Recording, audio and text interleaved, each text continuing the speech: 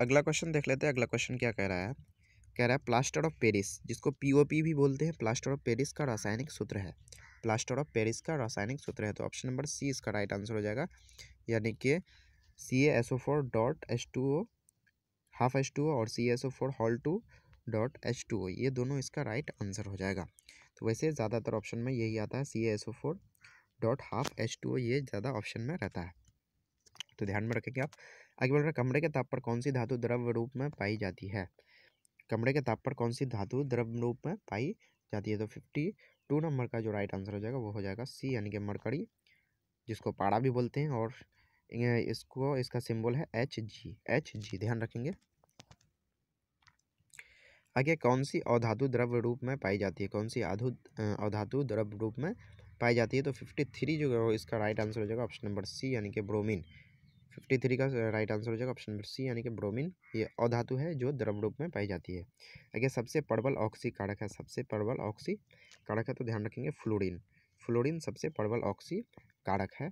Oxidant सबसे प्रबल जो ऑक्सी कारक है वह है फ्लोरिन आगे है, उत्कृष्ट गैसें किस वर्ग में है? उत्कृष्ट गैसें किस वर्ग में है? तो उत्कृष्ट यानी इनर्ट गैस वह है ऑप्शन नंबर सी यानी कि अठारहवां ग्रुप में। तो ध्यान रखेंगे पीरियोडिक टेबल में वर्गों की संख्या यानी कि ग्रुप की संख्या एटीन होती है, जबकि पीरियड की संख्या, आवर्त की संख्या वो सात होती है। ध्यान रखेंगे आप इसको।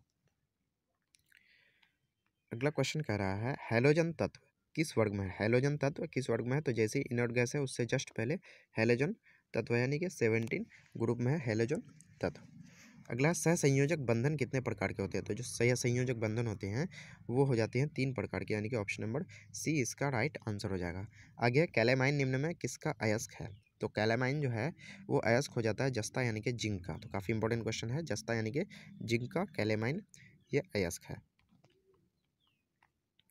अगला क्वेश्चन कर रहा है क्रायोलाइट किसका अयस्क है? क्रायोलाइट किसका? अयस्क है तो फिफ्टी नाइन नंबर का आंसर हो जाएगा ऑप्शन नंबर डी, यानी कि एल्यूमिनियम। तो ध्यान रखेंगे, आगे पीतल मिश्र धातु में पाया जाता है। पीतल मिश्र धातु में पाया जाता है तो क्या क्या पाया जाता है तो यहाँ पे हो जाएगा कॉपर और जिंक। पीतल मिश्र धातु में क्या पाया था? कॉपर और जिंक। तो आप इसको इस तरह से याद रख सकते हैं। पी, ता, जी। यानी कि पी से पीतल, ता से तांबा, यानी कि कॉपर और जी से जिंक। यानी कि पीतल में क्या क्या पाया था? तांबा और जिंक। ध्यान रखेंगे आप। अगला कह रहा है, वायु में कार्बन की मात्रा पाई जाती है, वायु में कार्बन की मात्रा पाई जाती है। तो यहाँ पे ध्यान रखेंगे, ऑप्शन नंबर बी यानी कि zero point zero three percent इसका राइट आंसर होगा। नेक्स्ट है, बर्जिलियस ने जीवन शक्ति का सिद्धांत कब दिया? बर्जिलियस ने जीवन शक्ति का सिद्धांत कब दिया? तो सिक्सटी टू नंबर का राइट आंसर हो जाएगा, ऑप्शन नंबर सी यानी कि एटीन फिफ्टीन में यानी कि अठारह सौ पंद्रह में यह सिद्धांत दिया था। आगे एल्किल का सामान्य सूत्र होता है, एल्किल का सामान्य सूत्र होता है तो यहाँ पे राइट आंसर हो जाएगा ऑप्शन नंबर डी यानी कि C N H two N plus one C N H two N plus one चलिए नेक्स्ट क्वेश्चन की ओर देख लेते हैं। नेक्स्ट क्वेश्चन आवर्त सारणी में, यानी कि पीरियोडिक टेबल में आवर्तों, यानी पीरियड्स की संख्या होती है। तो पीरियड्स की संख्या सेवन होती है, जबकि ग्रुप्स की संख्या एटीन होती है। ध्यान रखेंगे, आगे है लेंथेनाइट्स में कितने तत्व हैं? लेंथेनाइट्स में कितने तत्व हैं? तो सिक्सटी फिफ्थ फिफ्थ नंबर का हो जाएगा ऑप्शन नंबर बी यानी कि फिफ्टीन तत्व यानी कि पंद्रह मेटल्स हैं पंद्रह एलिमेंट्स हैं वहाँ पर यानी कि पंद्रह तत्व हैं। आगे है, आधुनिक आवर्त सारणी के जनक किसे कहते हैं?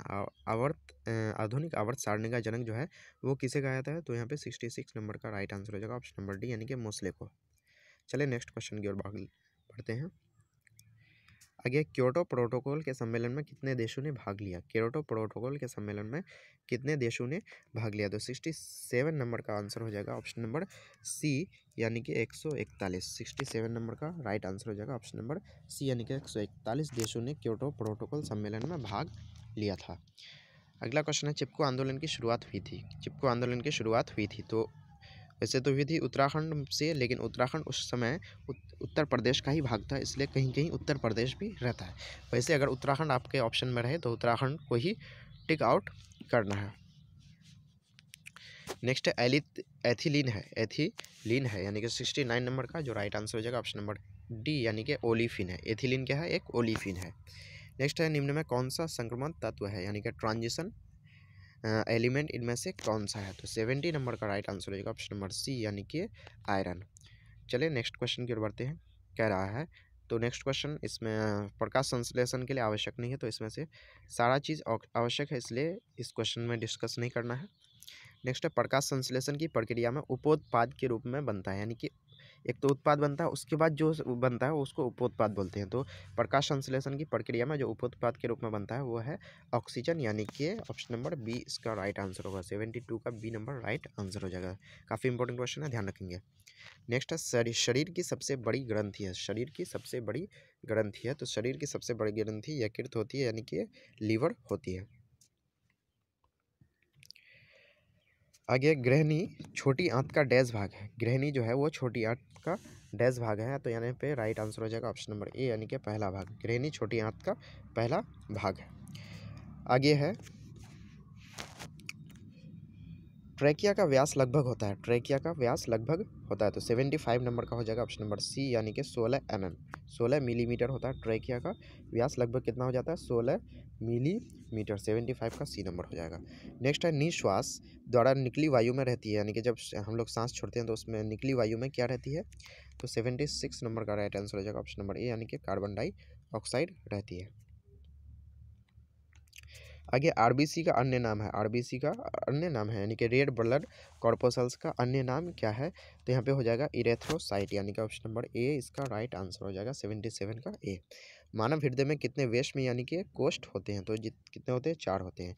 दाया अलिंद बयानिंद अलिंद और दाया नीलय बाया नीलय ऊपर वाला होता है अलिंद और नीचे वाला होता है नीलय तो ध्यान रखेंगे, मानव हृदय में कितने वेश में या कोष्ठ होते हैं? चैम्बर्स तो फोर होते हैं, चार। ध्यान रखेंगे, सेवेंटी एट का ए नंबर हो जाएगा। नेक्स्ट है, सामान्य स्थिति में रक्तचाप होता है। तो सामान्य स्थिति में रक्तचाप हो जाता है आपका one twenty upon eighty.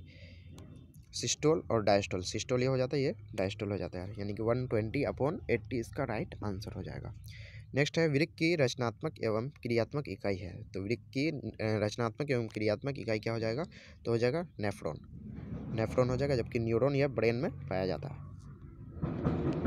Brain का सेल का नाम है वो। नेक्स्ट है, मूत्र का पीला रंग डैश के कारण होता है। तो मूत्र का पीला रंग होता है यूरोक्रोम के कारण। यानी कि option number C right answer हो जाएगा। तो यहाँ पे मूत्र का पीला रंग डैश के कारण होता है, यानी कि यूरोक्रोम, यानी कि option number C, right answer हो जाएगा, यूरोक्रोम। नेक्स्ट है, फलों को पकाने में सहायक हार्मोन है। फलों को पकाने में सहायक हार्मोन है तो फलों को पकाने में जो सहायक हार्मोन है, वो हो जाएगा ऑप्शन नंबर डी, यानी कि एथिलीन। फलों को पकाने में सहायक हार्मोन कौन सा है? तो एथिलीन है। ध्यान रखेंगे, काफ़ी इंपॉर्टेंट क्वेश्चन है। कहला, मस्तिष्क का सबसे बड़ा भाग, सेरिब्रम। ध्यान रखेंगे इसमें मस्तिष्क का सबसे बड़ा भाग क्या है? सेरिब्रम है। या फिर इसको प्रमस्तिष्क भी बोला जाता है। तो मस्तिष्क का सबसे बड़ा भाग सेरिब्रम या प्रमस्तिष्क किस मस्तिष्क का भाग है? तो 83 का जो राइट आंसर होगा वो हो जाएगा अग्र मस्तिष्क, यानी कि option number A right answer हो जाएगा। चलिए नेक्स्ट क्वेश्चन की ओर बढ़ते हैं। नेक्स्ट क्वेश्चन कह रहा है, मास्टर ग्रंथि किस निम्न में है? यानी कि निम्न में किसी मास्टर ग्रंथि के नाम से जाना आता है, मास्टर ग्लैंड के नाम से आना आता है तो option number C right answer हो जाएगा, यानी कि पिट्यूटी ग्रंथि, यानी कि पीयूष ग्रंथि या फिर पिट्यूटी ग्रंथि को ही क्या कहा जाता है? मास्टर ग्रंथि के नाम से जाना जाता है। नेक्स्ट है एंड्रोजेन है एंड्रोजेन है। तो यहाँ पे राइट आंसर हो जाएगा नर्लिंग हार्मोन, यानी कि एंड्रोजन क्या है? नर्लिंग हार्मोन है। नेक्स्ट क्वेश्चन है, पुरुष का सबसे प्रमुख जनन अंग है। पुरुष का सबसे प्रमुख जनन अंग है, यानी कि 86 का नाइन राइट आंसर हो जाएगा ऑप्शन नंबर बी यानी कि विरसन 86 का राइट आंसर हो जाएगा। पुरुष का जो सबसे प्रमुख जनन अंग है, वो है विरसन, यानी कि टेस्टेस। तो राइट आंसर हो जाएगा ऑप्शन नंबर बी।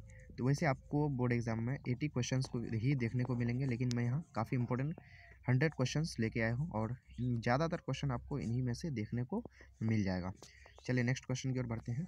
तो ध्यान रखेंगे, जो पुरुष का सबसे प्रमुख जनन अंग है, वो है विरसन। ध्यान रखना है। नेक्स्ट है पुंकेश्वर के अग्रभाग को कहते हैं। पुंकेश्वर के अग्रभाग को कहते हैं तो यहाँ पे राइट आंसर हो जाएगा ऑप्शन नंबर बी यानी कि प्रागकोश कहते हैं। अगला क्वेश्चन है नर युग्मक तथा मादा युग्मक के संयोजन से बनता है। नर युग्मक तथा मादा युग्मक के संयोजन से बनता है। तो यहाँ पे राइट आंसर हो जाएगा ऑप्शन नंबर ए यानी कि जाइगोड बनता है। नर युग्मक और मादा युग्मक के जो संयोजन से बनता है वो है जाइगोड आगे मनुष्य और अन्य मांसाहारी जीव निम्न में किसका पाचन नहीं कर पाते हैं? तो ध्यान रखना, सेल्यूलोज का पाचन मनुष्य या कोई भी मांसाहारी जीव सेल्यूलोज का पाचन नहीं कर पाते हैं। नेक्स्ट, मानव में गर्भ की अवधि होती है। मानव में गर्भ की अवधि होती है तो यहाँ पे हो जाएगा टू सेवेंटी डेज़ यानी कि दो सौ सत्तर दिन। अगला क्वेश्चन कह रहा है, ब्रेन हेमरेज का मुख्य कारण है। ब्रेन हेमरेज का मुख्य कारण है तो यहाँ पे नाइन्टी वन का राइट आंसर हो जाएगा ऑप्शन नंबर सी यानी कि हाइपर टेंशन ध्यान रखेंगे हाइपर टेंशन नहीं हाइपर टेंशन के कारण ही ब्रेन का हेमरेज होता है। नेक्स्ट है पा, पादप वृद्धि हार्मोन है। काफ़ी इंपॉर्टेंट क्वेश्चन पादप वृद्धि हार्मोन है तो जिब्रेलिन को कहा जाता है पादप वृद्धि हार्मोन नेक्स्ट है फॉर्मिक अम्ल का आयुपेक नाम है। आई नाम जो है वो फॉर्मिक अम्ल का क्या है तो 93 का हो जाएगा ऑप्शन नंबर ए यानी कि मैथेनोइक एसिड जो है आई नाम है फॉर्मिक एसिड का।